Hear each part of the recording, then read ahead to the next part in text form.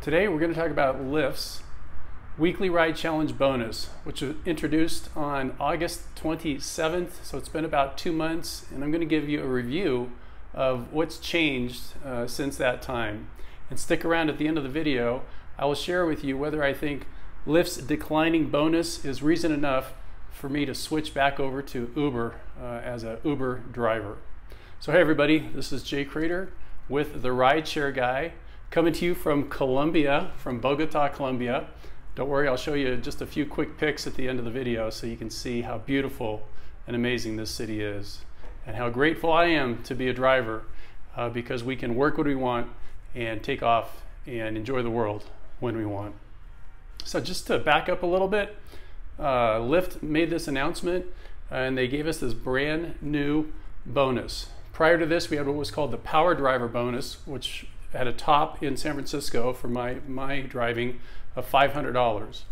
But you had certain acceptance rate and you also had peak hours in which you had to drive. So then they came out with this new bonus about two months ago, which eliminated the peak hour requirements and eliminated the acceptance rate requirement. And they only dropped it from 500 down to 423. And at that time, I wrote a blog post and made a video that said, yes, this is awesome. But there have been two significant, actually three significant changes that have occurred since then. So let's break them down. The first is that you can no longer make $423. My amount has now dropped down to 356. So here you can see a few pay statements. Uh, when the bonus first came out, $423 was the top. And then approximately a month later, it dropped down to 356. I can only hope that's the end of the drops.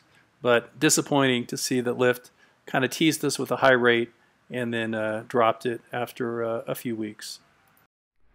The second change is that now instead of being able to get three different payouts throughout the week, now you can only get two.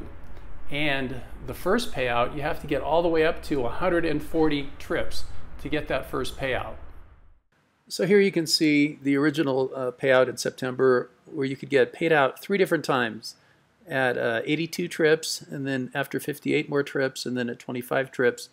And they were spread out nice, $143, 130 150 And now this is where I am this week where there's only two payouts and the first payout is at a whopping 140 trips to get $230 and then you got to do another uh, 25 to get 126. So they've kind of back-ended it.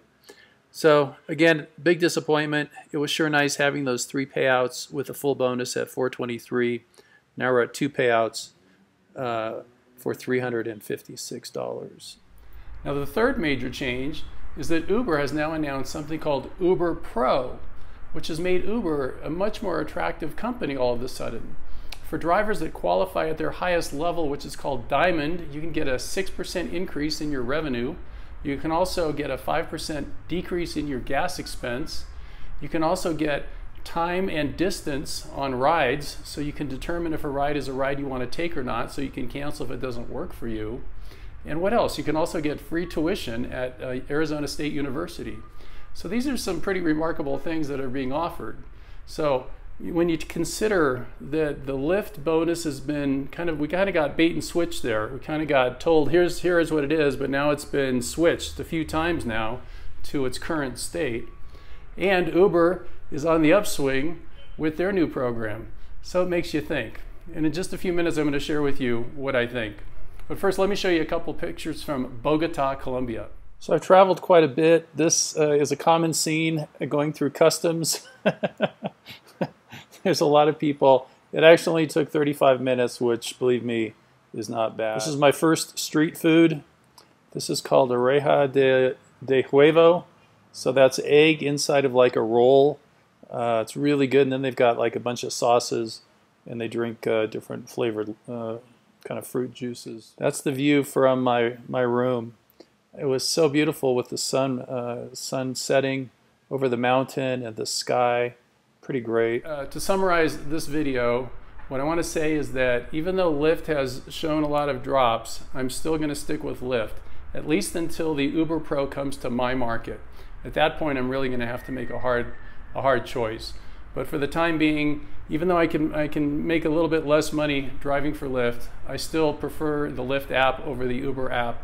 And um, I like that I don't have to worry about the peak hours. And I just like the Lyft uh, customers, the passengers, seem to be a little more friendly, a little more gregarious than the Uber.